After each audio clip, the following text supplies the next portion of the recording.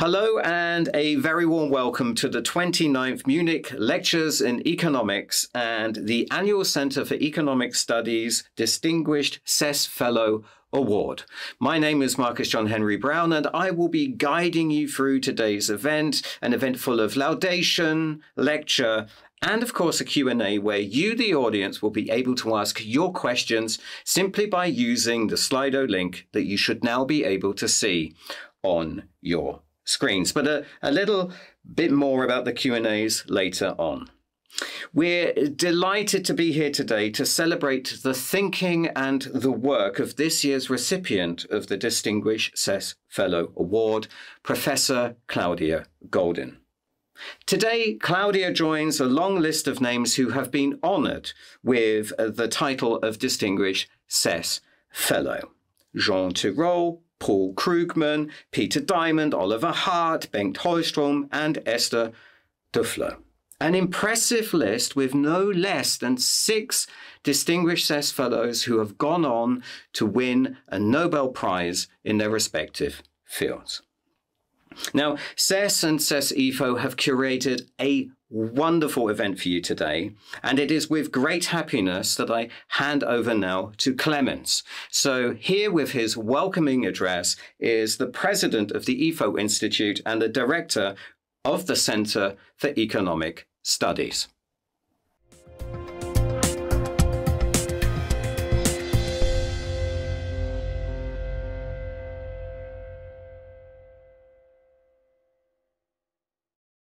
Good morning, good afternoon, wherever you are. Uh, it's a pleasure for me to welcome you to the 2022 Munich Lectures in Economics. My name is Clemens Fuest. I'm the director of CES and of CES IFO.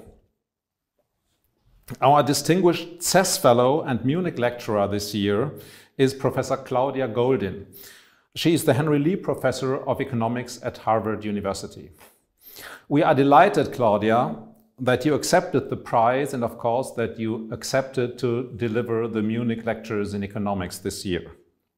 A very warm welcome also to Professor Claudia Olivetti, who will deliver the laudation tonight.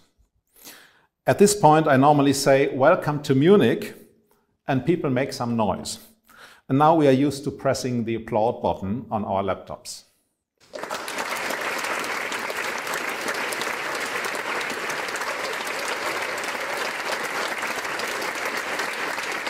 What are the Munich lectures?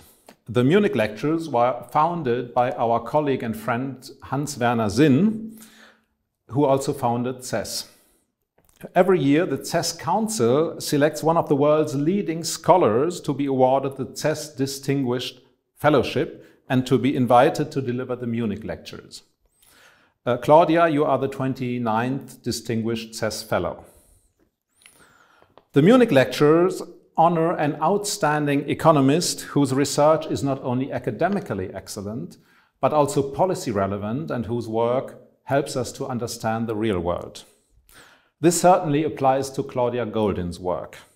It deals with some of the most important social and economic issues of our time.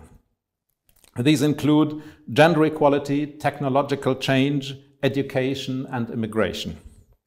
Recently, another laudator said about her that she is one of the most influential and insightful American economics, economists working in the world today. Exactly why Claudia Goldin is so outstanding both as a researcher uh, and in her work will be explained to us later by Claudia Olivetti uh, in her laudation. Let me brief you, briefly introduce Claudia Olivetti to you, uh, although I'm sure many of you know her. Claudia is George J. Records 1956 Professor of Economics at Dartmouth College. Her research focuses on labor economics with a special focus on women in the labor market, intergenerational mobility and marriage institutions. She is linked to Claudia Goldin in various ways.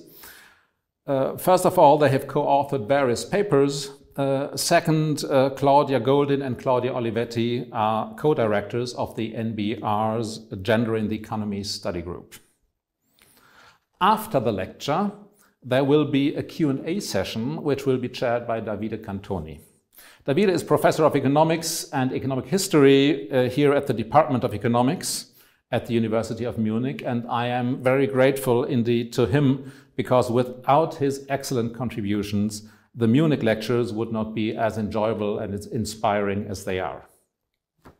Uh, last but by no means least, I would like to thank our partner Munich Re uh, for sponsoring this event. Munich Re has supported this lecture for many years and continued its support when the lecture was shifted online.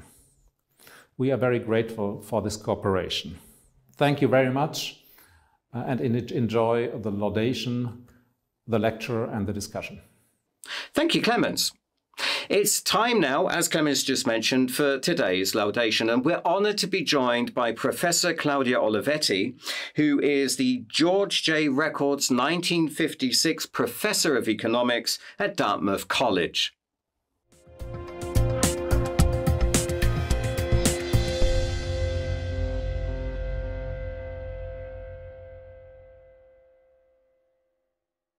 Thanks, Marcus, for the great introduction. It is my great honor and pleasure to introduce Claudia Goldin, who will give the Munich lecture today. The importance and extent of Goldin's contributions to the field of economics is unquestionable, and it is hard to fully do justice to it in this short speech. I will try. As an innovative labor economist and economic historian, her groundbreaking contribution to a wide range of topics unemployment, earnings inequality, immigration restrictions, education, and of course, women in the workforce have placed her among the most influential and insightful economists in the world today as recognized by the many awards she received, including the BBVA Frontiers in Knowledge Awards in 2019. But her legacy in the field of economics goes well beyond her groundbreaking work. As a long term director of the NBER Group on the development of the American economy, she shaped the field of modern economic history, attracting to it some of the best and most interesting young economists today.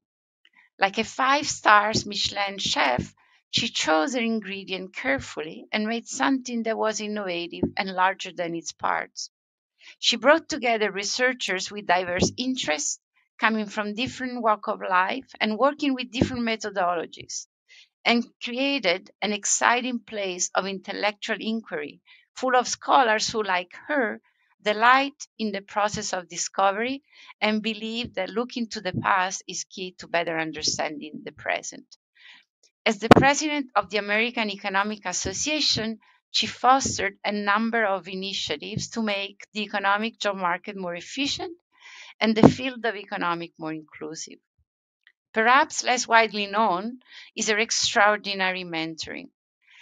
As the first female economist to be offered or obtain tenure not one but three Ivy League universities, the University of Pennsylvania, Harvard University, and Princeton University, Goldin has been an inspiration to many other women, readily and generously sharing her own experiences while simultaneously demonstrating the possibility of success with her stellar record achieved with integrity never ending curiosity and commitment to the process of discovery, of discovery, and passion for teaching, which she sees as complementary to research and not detracting from it. The measure of success of her mentoring method is in the long list of economists she has influenced in her own fields and more generally in the economic profession her students first and foremost, and other researchers who, like me, had the great fortune to meet her early in their careers. For her research and mentoring contribution, she was awarded the Caroline Belsch Award from the CSWEP, the Committee for the Status of Women in the Economic Profession at the AEA in 2005. In her lecture, Professor Goldin will bring us on a journey through the lives of five generations of U.S. college women. Her own academic journey started at the Bronx High School of Science, where she studied bacteriology. In a short biographical note that she wrote in the late 1990s, and that frankly changed the trajectory of my work and my career before I even met her, she mentioned that what was driving her at that time was just passion about the study of bacteriology, not fame. And, and I quote, it was the thrill of discovery. Truth were hidden under the microscope, and I was going to find them. Fortunately for economics, and to the detriment of microbiology, in her second year at Cornell University, she met the great Fred Kahn, who attracted her to the possibility of finding this hidden truth in economics.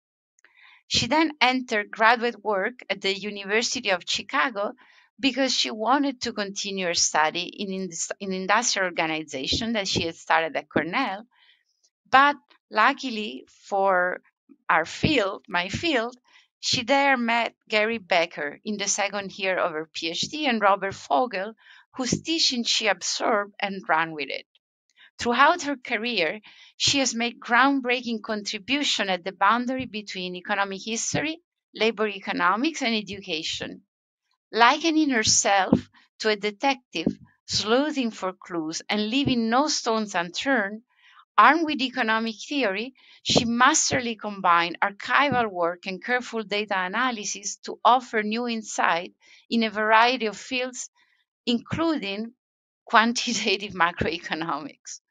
From the prairies to the textile floor to the boardrooms, she has contributed and significantly advanced a differentiated view of economic agents, emphasizing that the distinction between male and female participants in the economy is key for the better understanding of you know long run trend and emphasizing how technological progress greatly influence economic development and human capital accumulation and eventually the role of women in the economy.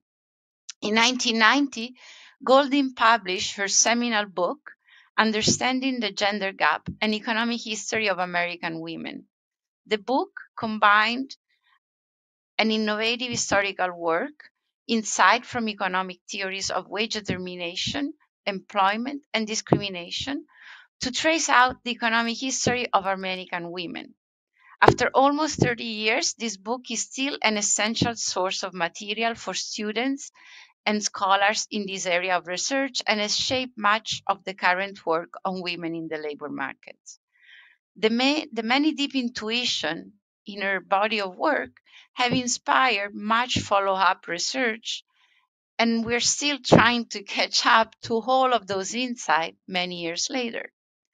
For example, Goldin showed that increasing education and the emergence of a white collar sector where women had a comparative advantage were key factors in fostering the paid employment of married women. She also traced back the origin of wage discrimination to the common use of promotion and job ladders as incentive mechanism in the expanding clerical sector this was in contrast to the piece rate pay schemes prevalent among female operatives in the manufacturing sector at the turn of the 20th century.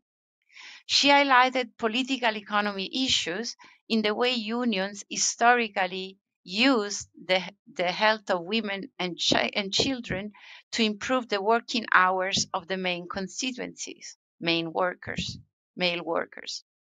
Overall, Goldin's body of work concerns the origin of policies issue of great current relevance. Her study of the history of education, technology, and the wage structure is connected to one of the main policy issues of our day, such as rising inequality and the diverging trajectories of low and high skilled workers and, her, and their families.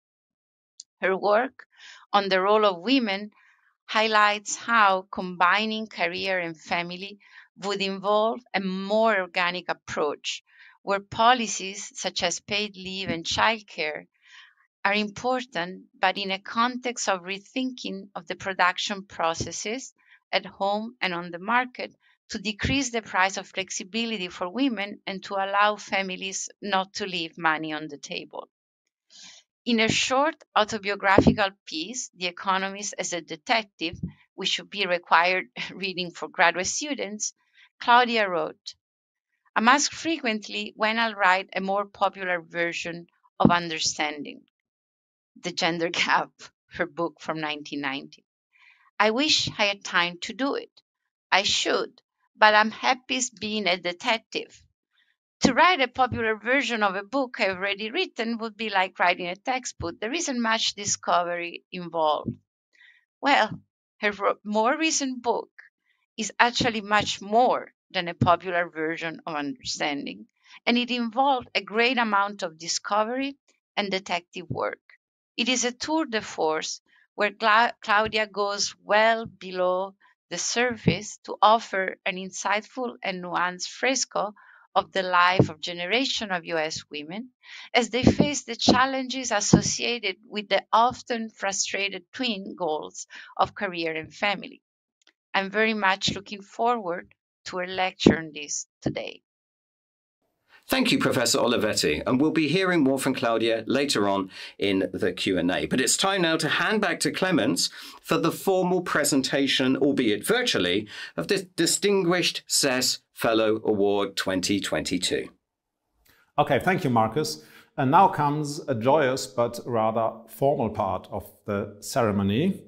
Uh, and I will read this text to you. Uh, the Center for Economic Studies of LMU Munich is happy to award to Claudia Goldin this year's prize as Distinguished CES Fellow and nominates her to give the Munich Lectures in Economics 2022. Congratulations, Professor Goldin. It's time now for the Munich lecture. And a quick reminder that you can post questions at any time during the lecture by using the Slido link that you can now see on your screens. Claudia Goldin is the Henry Lee Professor at Harvard University, uh, co director NBER, Gender and the Economy Study Group Research Associate, NBER, and Research Fellow, IZA. This year alone, she has been awarded the Cabot Prize Fellowship and the Richard A. Lester Prize and the Visionary Award from the Council for Economic Education. She is a Fellow of the American Academy of Arts and Sciences and the Econometric Society. Here, with her 2022 Munich lecture, is the distinguished CES Fellow, Professor Claudia Goldin.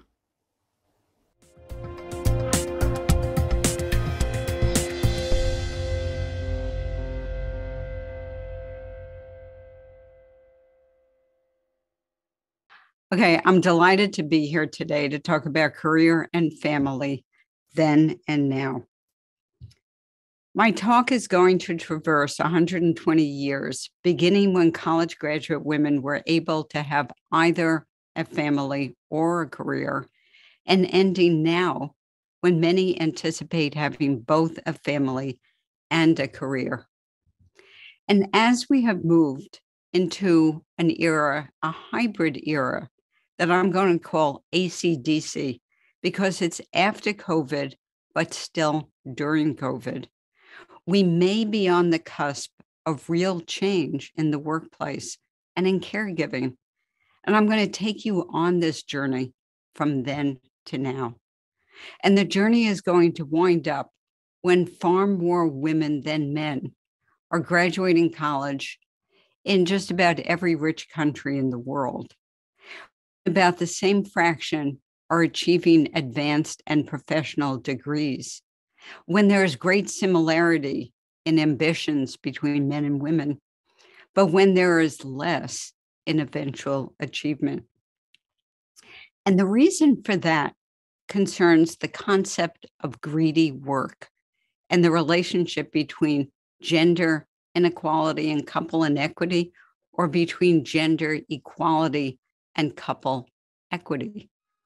These are two sides of the same issue for different sex couples. Now, same sex couples can have couple inequity, but they don't give rise to gender inequality. When different sex couples give up couple equity, they increase gender inequality. I shall explain. A few clarifications to begin with. First of all, my work concerns college graduate women because they have had the greatest opportunity to achieve career even when their numbers have been quite low. And the second point is that when I use the word career, I mean something very different from a job. A career is achieved over time. It comes from the Latin root to mean to run a race. Think about carriages and chariots. A job is a spot position to earn a living. Aspirations and achievements of college graduate women across the past 120 years greatly changed. The reasons for the changes vary with the period. Early on in this history, the labor market shifted its demands from brawn work to brain work, and that favored women. But more recently, wide ranging technological changes have expanded economic inequality and increased returns to hours intensive jobs. And these have widened the gap in gender earnings. These technological changes are somewhat universal. There have also been more local technological changes, those that have greatly impacted the home, such as early on the spread of electricity and clean water and sewerage systems requiring public infrastructure. And much later in this history, greater and improved fertility control has enabled women to delay marriage, to delay childbearing, but more recently has also enabled women to have children at older ages. Thus, technological changes in this story of many, they're universal, they're local, and they're personal. The college graduate women in this story group in five distinct birth cohorts that form what I call a succession of generations across the 120 years, each metaphorically passing a baton from one to the next, a baton that has warnings and advice. But even though there have been gains across these groups, the way work is currently structured and the persistence of social norms, no matter how much weaker they've become, mean a lower ability for women to attain both career and family. The five groups are as follows. The first, and this is for the US, graduated college from 1900 to 1919, and they achieved family or career. The next group had a job and then a family. And the third group, which in the US are the mother of the baby boom, graduated college from 1946 to 1965. They had a family first and then a job. And the fourth group, which happens to be mine, was the first to desire a career and then a family. The fifth, graduating since the 1980s, desires a career and a family and has succeeded more than any other. And by the way, the end years that I give for that cohort is only because I need to track them to when they're in their 40s. The 120 year period is a transition from career or family to career and family. And here is bookended with women who served in the US Congress, beginning with Jeannette Rankin, the first woman elected to federal office in the US. And she was typical of the career portion of her cohort. She never married, she had no kids. She just had one amazing career. Her story is very interesting. At the other extreme is Tammy Duckworth, the senator from the state of Illinois in the US, and the first US senator to have a baby while holding office and the first to bring a baby into an active session of US Congress, even though many would say that there have always been babies in the US Congress. She is an extraordinary member of Group 5. Betty Friedan, the author, looking rather coquettish, is in the middle. I'm going to provide a bit more detail on each of these five groups. And I'm going to tell you about the fraction that never married by age 30, by age 50, the fraction who didn't have children by age 45, and the fraction who worked if they were ever married when they were young and when they were older. College graduate women first achieved family or career, as I said. Few in this group managed both. And as you can see here, 50% in this group one never had a birth, 32% would never marry, and just a small fraction were in the labor force, if ever married. In group two, more college women aspired to have careers, but that didn't happen for a large number of reasons. In group three, as job opportunities improved, and as America in post World War II era was swept up in early marriages and an enormously large baby boom, college women shifted to planning for family and then a job.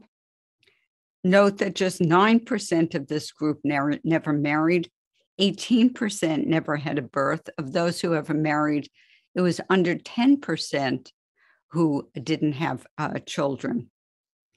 Their employment rates were low, not surprisingly, when they were young, but they increased enormously to 73% when the kids were older.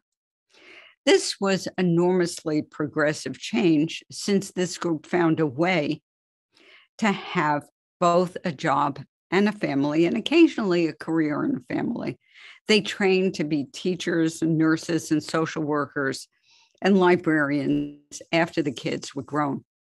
Career, then family, became the goal for many in group four, and they delayed marriage and children for a career and had high work rates when young. For group four, the birth control pill and its dissemination to young single women enabled the delay of marriage and the delay of family and helped boost their investments in education, professional degrees, and eventually in a career. But as you can see, the bi- biological clock ran out on many and 27% never had children. As this iconic Roy Lichtenstein print, I can't believe it, I forgot to have the children, reminds us. For group five, the goal is both career and family, and just 21% didn't have children by their 40s. Marriage and family for group five are still greatly delayed, in fact, even more delayed than for group four but birth rates have been up before the pandemic, partly due to assisted reproductive technologies. Here is the more complete series on zero births. On the horizontal axis is the birth year of the mother, and on the vertical axis is the fraction who never had births as of the age that is given. So you can see the large differences across these groups. Focus on the bottom line, 40 to 44. Note that for group one, as I said, 50% never had a birth by that age. And then that fraction goes way down to about below 18% for group three. Then it goes up for group four to the 27% number I mentioned, and then down again for group five. The group divisions that I gave you before now appear more meaningful. And you can see one of the many indicators that I've used to form these groups. But you may be thinking that because of the large increase in college graduation, that much of the difference across the groups is due to selection who went to college the rich from particular families. But the surprising finding, particularly in the US, is that selection into college with regard to these outcomes is not important at all. The elite changed along with the ordinary folk. So the elite would have had low birth rates for group one, and they had very high birth rates for group three. Important accompaniments to the transition across the groups were changes in customs and norms. The General Social Survey has for some time asked respondents whether they believed that preschool children would likely suffer if their mothers worked. And the answers are graphed here. The horizontal axis is the birth year of the respondent, and the vertical axis is the fraction that agreed with the statement preschool children are likely to suffer if their mother works. And as can be seen, agreement decreased with birth year and over time for both men and women. Without much new evidence, the response changed. Fewer agreed with the notion that preschool children would be harmed if their mother worked. The older norm disappeared, in part because it became more expensive to sustain as the earnings of women rose. But how have the actual achievements of career and family changed across the groups? To compute this, one needs at least two definitions one for family and one for career. I will define family very simply as having a child. The child can be biological, the child can be adopted. I do not require in this definition that there necessarily be a husband or a partner present. Career is more complicated, and it is achieved by exceeding a particular level of income for a certain number of years. In this case, it's given by exceeding the income for a male at the 25th percentile of the male distribution for the same education and age group. And that amount has to be exceeded in each of these five year groups for three of the years, which follows the notion that career is something achieved over time and not in just one year. I provide these computed dual success rates for groups three, four, five, and also something I call five plus for two age groups for 35 to 39 year olds and for 50 to 54 year olds. So the bottom line is that career and family success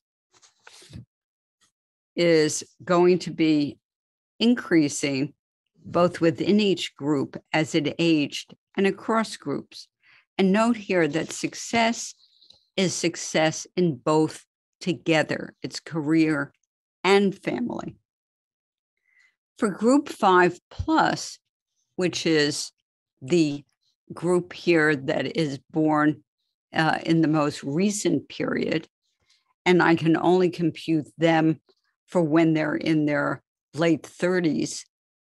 The rate for women is 28%. And you can see that for this younger group, it increases over time. That's the dark purple bar. For the older group, it also increases, but not by that much. And you can see within each cohort, it increases over time. But for group five plus, you can see that the rate for the younger group of women is about 28%, which is the highest it's been over this period. But that for men in this group, you may be wondering what that is. Once again, the dual success rate is 60%.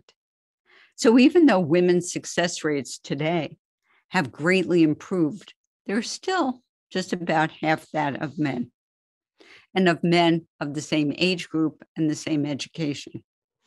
Although a succession of women has made progress on the journey to career and family, women's careers still often take a backseat to those of their spouses. The members of the most recent group have expressed frustration and placed the blame for this on a number of factors discrimination, managerial bias, pay inequity, and sexual harassment on the job. But how has that changed over time? To measure the level of discontent, I have used counts of phrases in the New York Times. These are counts of phrases of either gender discrimination or sex discrimination, and then normed by essentially the size of the newspaper. So, what you can see is that there are two big waves.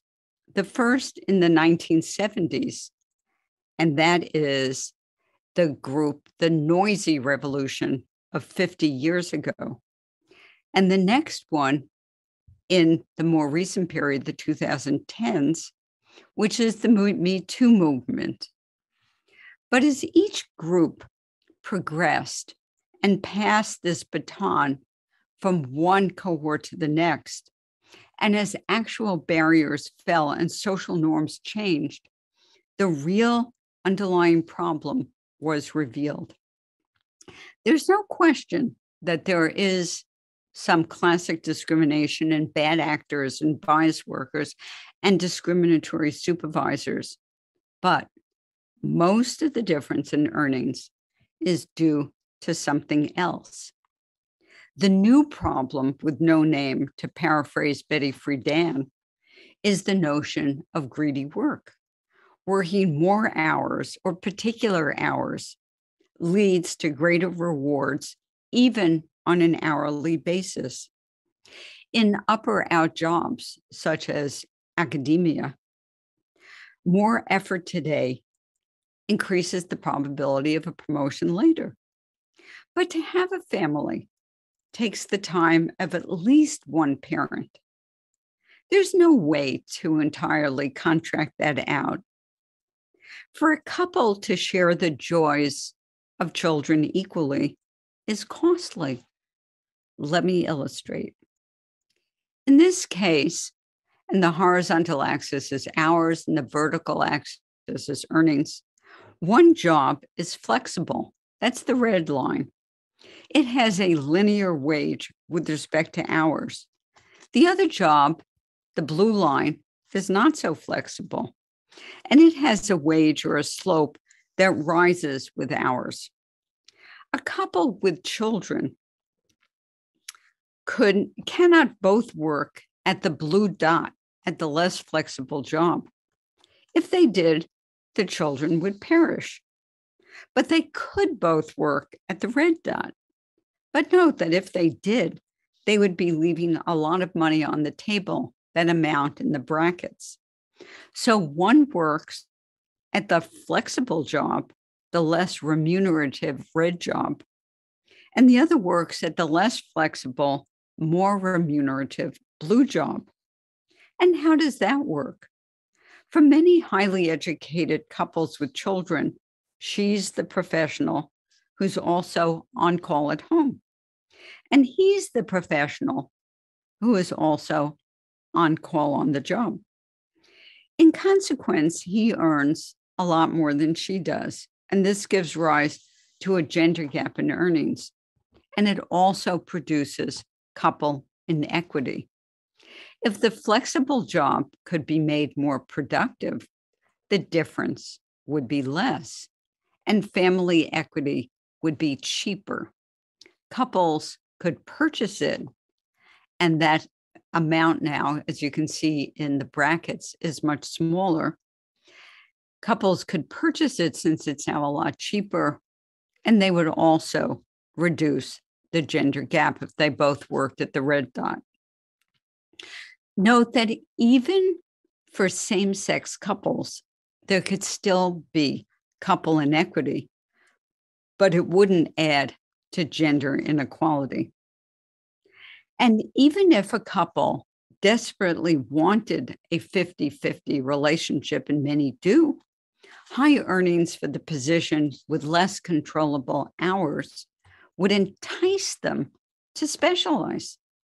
They'd both have jobs, but one would have the less remunerative flexible position and the other would have the higher paying, less remunerative flexible. One would have the less remunerative flexible position, the other would have the higher paying, more demanding position.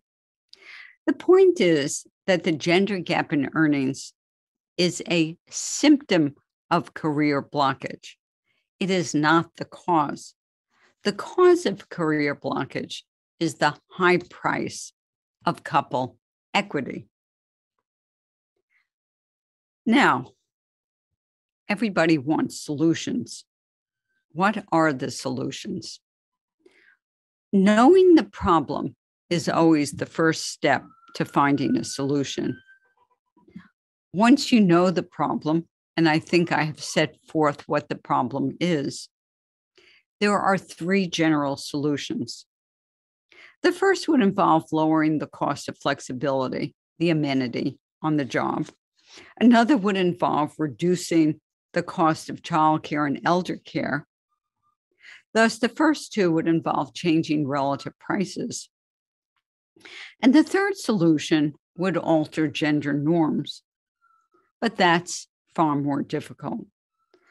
Let's take a deeper look at the first solution. How does one lower the price of flexibility? The simplest way is to create good substitutes for workers. If you had just one perfect substitute, you would never need to work the hours when you would need it for caregiving. Well, how could that be done? Wouldn't that be nice? Well, IT could be used to pass information and hand off clients without loss of information and with little loss of fidelity.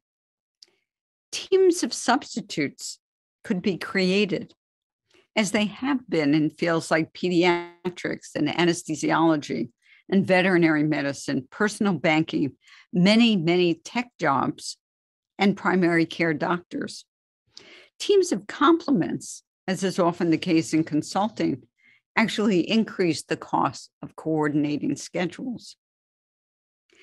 The tale that I have told was set in the years what I call BCE, before the COVID era. What does it tell us about the new era today? In mid March of 2020, we descended into the DC or during COVID world. Those who could sheltered in place and worked from home, and fortunate children had online schooling and at home help. Parental child care time just about doubled. In the age of ACDC, schools are open now. Child care time is still somewhat higher than before. One edge of the silver lining to the dark times that we have all lived through is that in the US, we began a national dialogue about caregiving. We once, long ago, had this conversation in 1943 when in the US we desperately needed non working mothers to help out on the home front to win the war. We created subsidized preschools open from early morning to evening, and we extended public school hours. We then abandoned these policies after the war because women were not that important to the economy. Women are now half the labor force, just about. We learned in the pandemic that much of the economy runs on women. Another edge to the silver lining is that we have learned to use technology to work from home.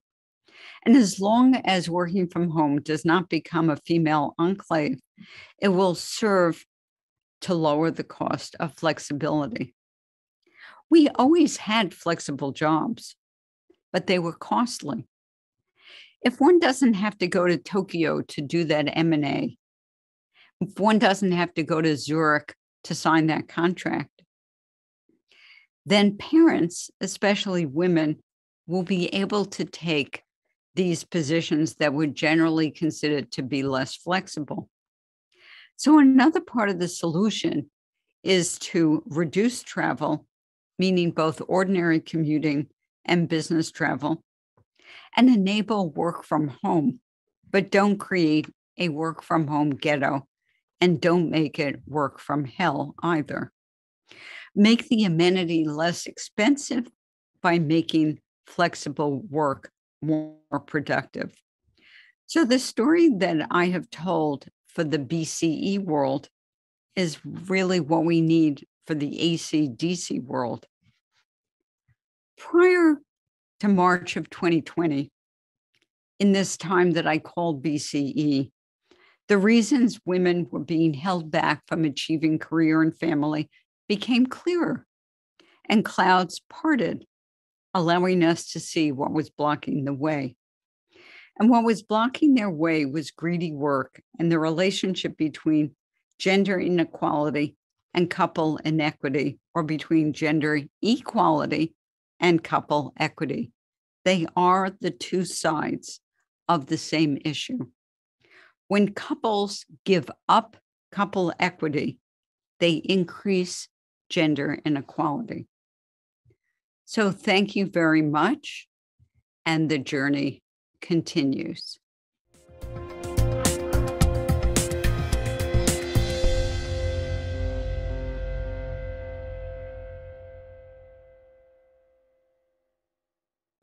Thank you so much, Professor Goldin. Well, as you can see, Clemens has moved back to his soundproofed room to take part in the Q&A.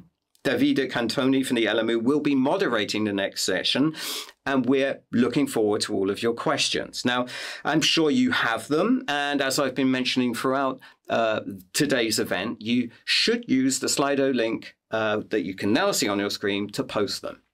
So let's start with the Q&A. Over to you, Davide.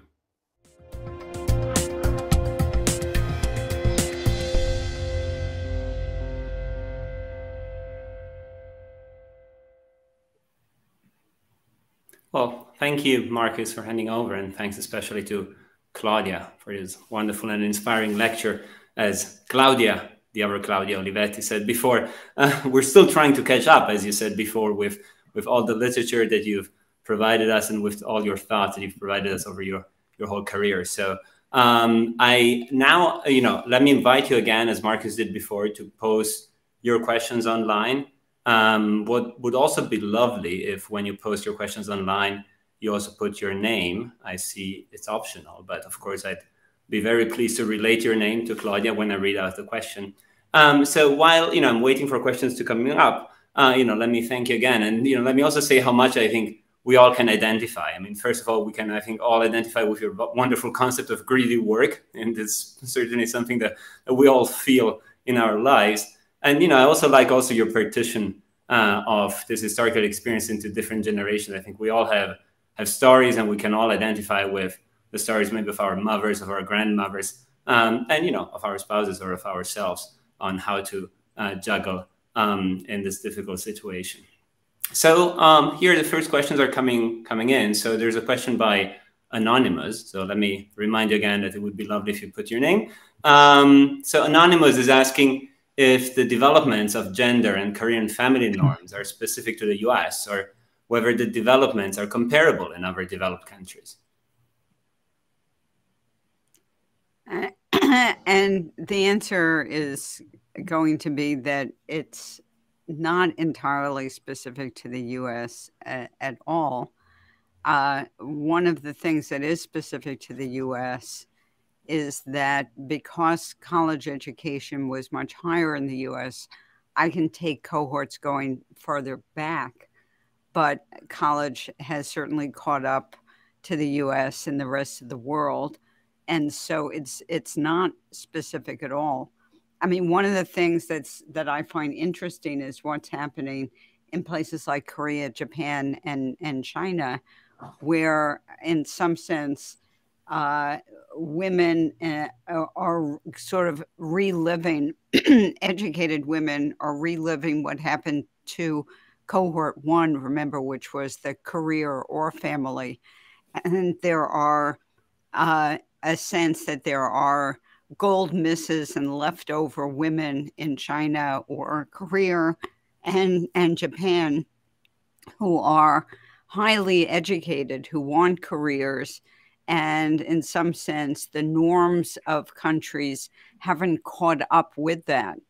So, uh, so there are things that are uh, the same across many countries, and there are things that are fascinating and different.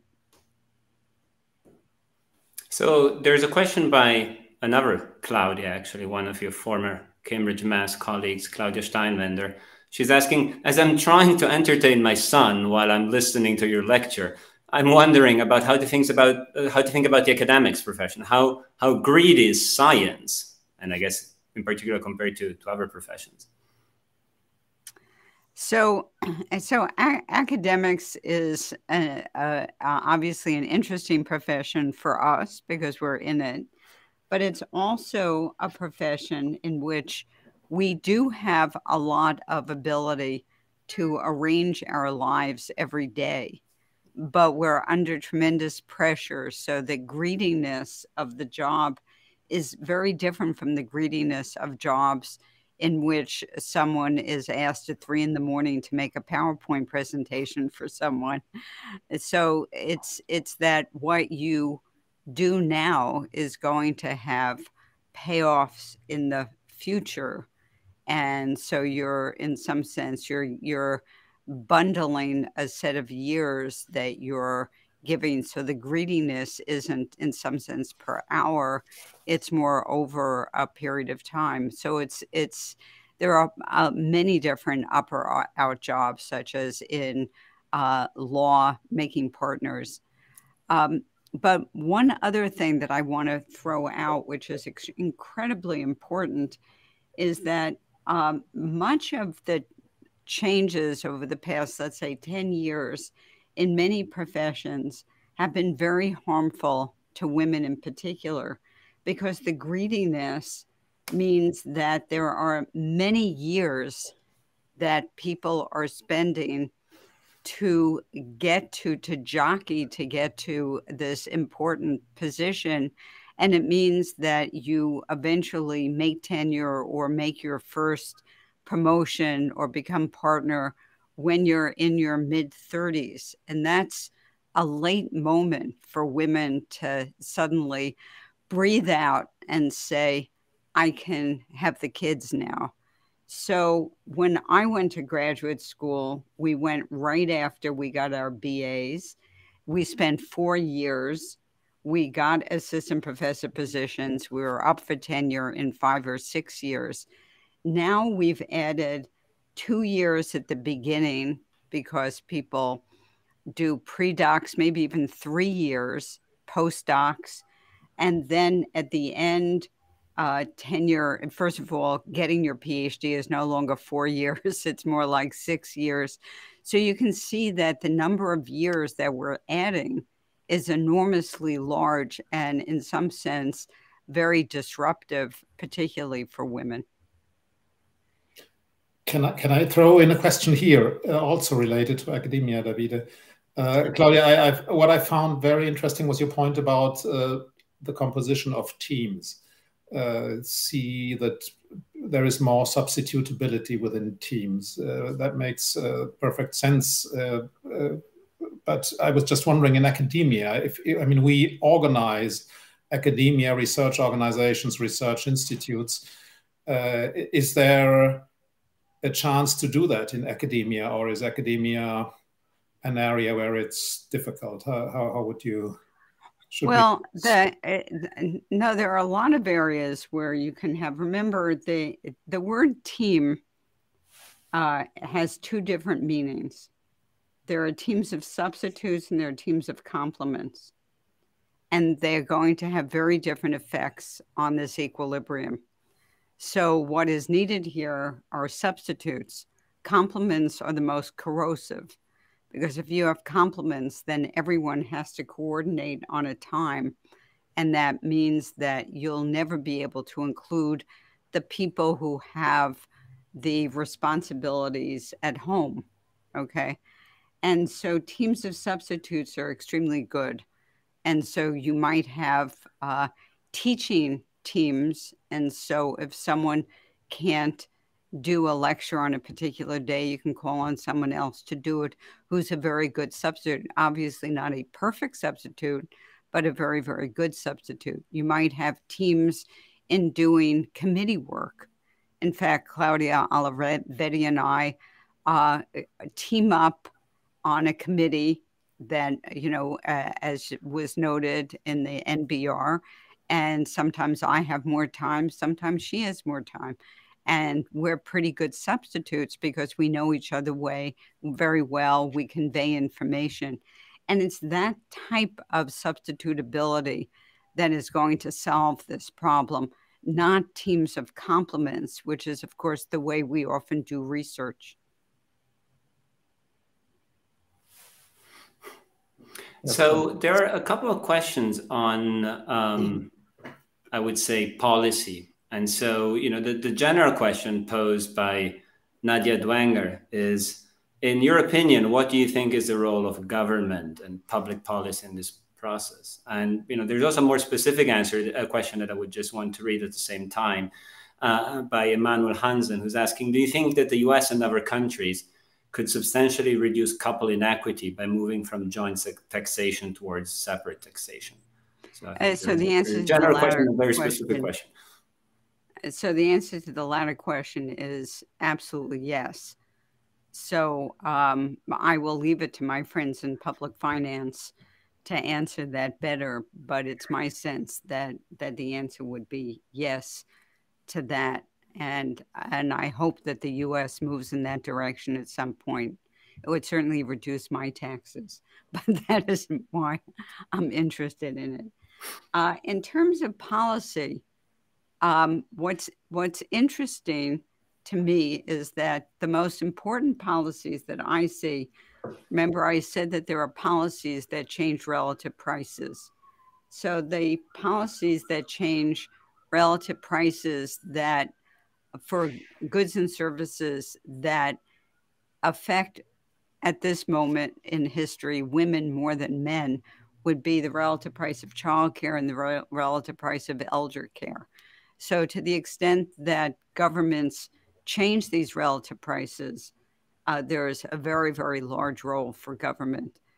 Uh, the US, for a very large number of complex reasons, has been a latecomer in changing relative prices for uh, for the care of of uh, very small children. So we've just gotten to the point where we're thinking about uh, universal preschool, which is four year olds, but we haven't made much of a dent in the minds of individuals in Congress and elsewhere to think about uh, what's going to happen to the really little ones and to subsidize that. And part of that, what's interesting is if you look at the data in the US, the fraction of women working who have an infant that's a zero to one. So we can track that using CPS data from about 1972 to the present. And you can see that that rises from a very low number to about 60% and then it doesn't budge from that. So if we want to ask, why is the US so resistant in having policies similar to those, for example, in Sweden? A part of it is that we are a very divided nation. And that's seen in that number that a large fraction of Americans believe thoroughly, still believe that young children should be taken care of by their mothers. And that resistant 40% that I just uh, mentioned is an indication of that. So in the US, it's, it's, it's, it's going to be very, very difficult at the federal level. We're a large country. and so these are policies that may have to be forged at the state level or even at the municipal level. If I can just follow up on that, so since you you know rightly say the U.S. is a very divided country, is there anything you can say about these trajectories over time and their future by areas of the U.S.? Is is that different for more Republican or you know, traditionally more conservative parts uh, and more sure. liberal parts? So uh, prior to the pandemic, and this is some work that Claudia and I and Sari had worked on, we were thinking about what's happening to uh, to a leave policy, paid leave policy. So paid leave are policies that exist in almost every country except for the United States, and it's often thrown out as a joke that it's also Papua New Guinea that also doesn't have such a policy, just to make fun of the U.S. where we're uh, compared with Papua New Guinea, which I'm sure is a lovely place. Uh, and so prior to the pandemic, uh, there were, I think it was about eight states plus the District of Columbia that themselves as a state had forged a uh, state policy for paid leave. In other words, through their disability program or their UI program, they managed to pass an additional tax to fund paid leave. Uh, at, uh, when we had written this, a paper on this subject, we noted that there were about 18 more states that had proposed this legislation. And uh, then we had the pandemic. It turns out that I was looking at the map the other day uh, that three more states have come on board, including one that was not in the original group, and that was Colorado. Oregon has as well, uh, and uh, and another state, um, I think Maryland actually. But if if I look at the map and I compare it with red states and blue states, which I haven't done, I'm not quite. I I, I actually think that there isn't as much of a concordance there as one might think, but it's certainly the case that the early movers are more of the blue states. Okay, so speaking about you know red and blue states or liberal and more conservative parts, we have a question by Anastasia who works in the private sector in Zurich, she writes, and she's a mother of a six month old. Soon to be back to 100% work, which is negatively perceived. What are your thoughts about stereotypes? And you know, maybe one thing to add is that Switzerland is, I think, in, in Europe, the country where when you ask the question, are mothers can mothers be good mothers if their children are taken care of by preschool scores um, at the bottom of the league? So maybe this is certainly in Anastasia's mind when she's thinking about considering going back to work? Uh, well, first of all, congratulations. That's very nice. And uh, you will uh, be a leader. That's all I can. Uh, that's all I can say. But there, there obviously are lots of problems with with the notion of stereotypes. So she's worried she's going to go back to work and uh, in her office, and I'm not quite certain exactly uh, how things will come up. Someone might say, uh, We have a big client and we want someone, it's going to be a tough job. And someone will have some paternal uh, sexism and say, Well, don't give it to her because she has a six month old. So, my sense is that women in the, that position have to step up and assert themselves and say, I can take these difficult positions because guess what? This six month old has a father. and uh, no, no one said that my child's going to be harmed if his father takes care of him. So, if I, if I may maybe abuse my, my role as moderator and, and, and drop another question of mine, um, what about part-time jobs? I think this is a, a, you know big difference. I think between the U.S. and you know mostly northwestern Europe, where most women work in part-time jobs when they have kids, and so I think the big question is it is it a stepping stone towards a career, is it a stumbling stone, putting you on a on a bad. Yeah, I, I think the unfortunate thing is is that it's more of a stumbling stone, and that what we see in the data and something that we would like to look more at is that, and we, we see it in the data for the Netherlands, for example, which has uh, an extraordinarily large fraction of its workforce, female workforce, working part time, is that when that policy in the Netherlands was first uh, formed, uh, the idea was that women could work part time at prorated amounts, so there would be no greedy work. Uh, when they're younger and then immediately go into full time work. And what was found uh, about 10, 15 years ago in looking at uh, longitudinal data was that for many individuals, when you work part time, it's it's either hard for you personally to get out of that, or it's hard for the firm to figure out how to reemploy you at full time. But once part time, unfortunately, is part time for a longer time. I mean, one of the interesting things about the new, what I would call, and others have as well, the new world of work is the possibility that work from home will substitute for part time work.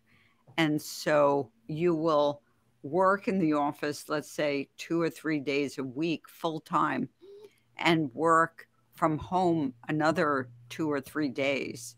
Okay. And so rather than working part time, you will always have your foot in the door, so to speak. And will that be a solution? We don't know. I mean, this is uh, what's what, uh, of course, is wonderful about being an economist is that the world does change, and we're given uh, we're we're we're given interesting issues to work with where the future is uncertain. And the future right now is pretty uncertain.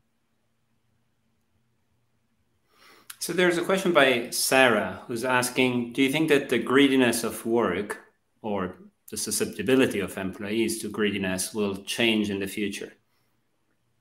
Right. And and what I ended with, thank you very much, Sarah. What I ended with is the possibility that there is this silver lining to the pandemic and that the new world of work will change the greediness of work. That's one one way in which it would change. The other way it will change is if we get buy-in from men. And buy-in from men is a very big deal. So maybe th- th- there's also a related question by Leander, uh, Leander Wolf, who's asking, how will group six look like? So if you think about, uh, you know, what was the progression between groups four, five, and six? What, what, what will be uh, group six like? I don't know if there is a six. That's why I called it five plus. Uh, what what would I'm not certain what I would call group six. Uh, you know, is there a possibility, for example, that uh, you know I I talk about career and family and is there a possibility that young people today will say, Who cares about a career? I just care about having a good time. I, I, I have often said that the reason that I love being an economic historian is that I do really well predicting the past.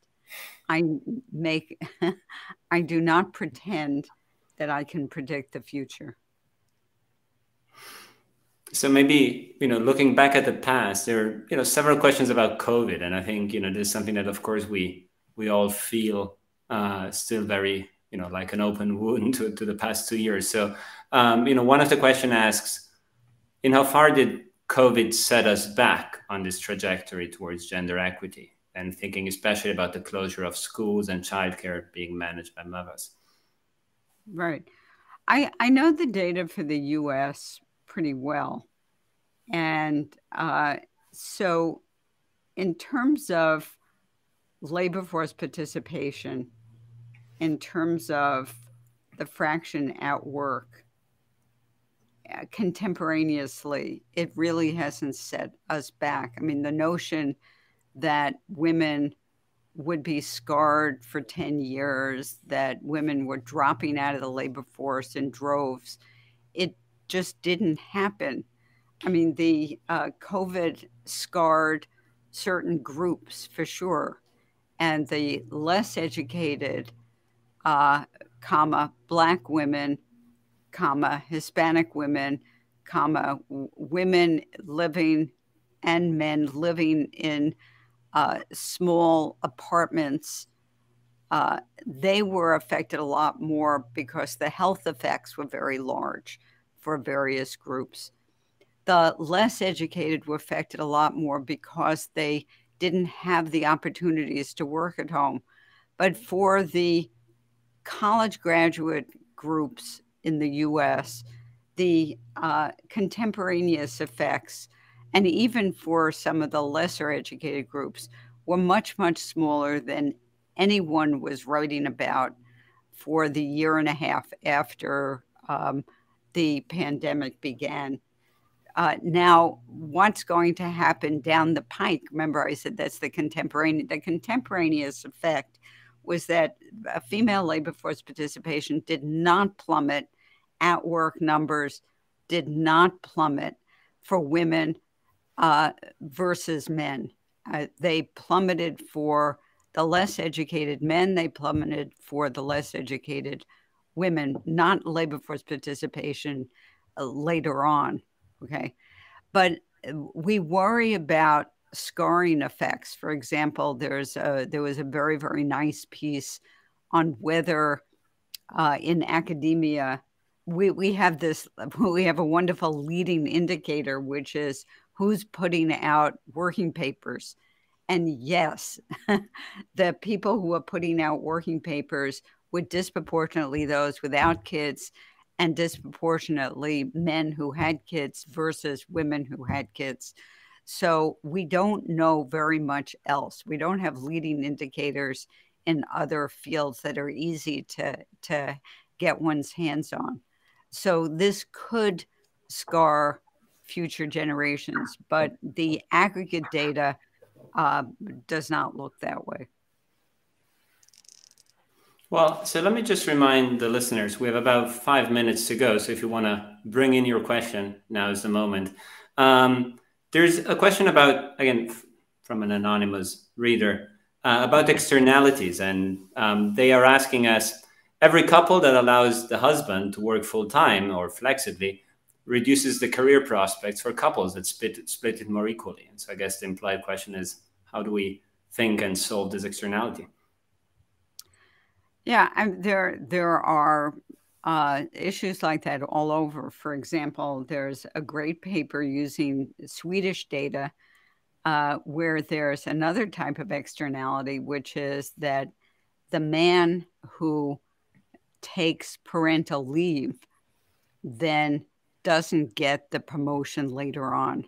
So therefore, this this doesn't even have women involved in it, other than the fact that there's a woman who's benefiting because the man took parental leave. So um, so that so there there are externalities, spillovers, whatever we want to call them, uh, that are uh, throughout this uh, this I think, fascinating and difficult set of issues. So um, I, I think one has to sort of step back and write out interesting models before we say exactly what we know is going on. But that's a very good question. So, um, you know, again, you, you said the important thing is to identify the problem before talking about solutions. But of course, our listeners we're tuning in one solutions. And so one of the questions by Clemens, uh, who's posting here is, long working hours can be measured to achieve power and higher position in organizations.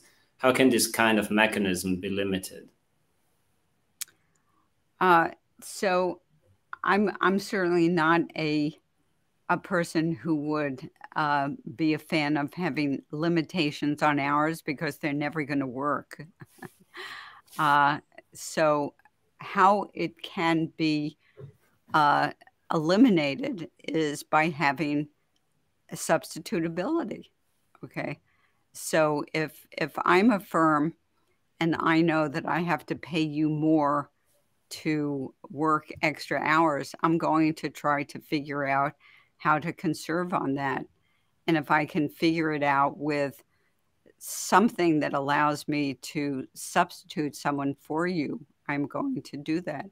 So just saying that an individual is going to work more hours because they want more power and prestige leaves out the fact that one of the beauties about the market system is that um, it penalizes that in the market system, there's another side that wants to conserve on what it's spending. And so it's going to try to find a way uh, of getting someone to do it for less. So there's one more question about, you know, going back, thinking about the pandemic um, and uh, about preferences of women. So Anonymous is asking, is there any general information about preferences of women to stay at home with their children during work? Home office is often preferred for this reason. So say the question again. The question is about if, if there if we have general information about the preferences of women to stay at home, and you know probably I guess implied question is how do we act if we know about these preferences.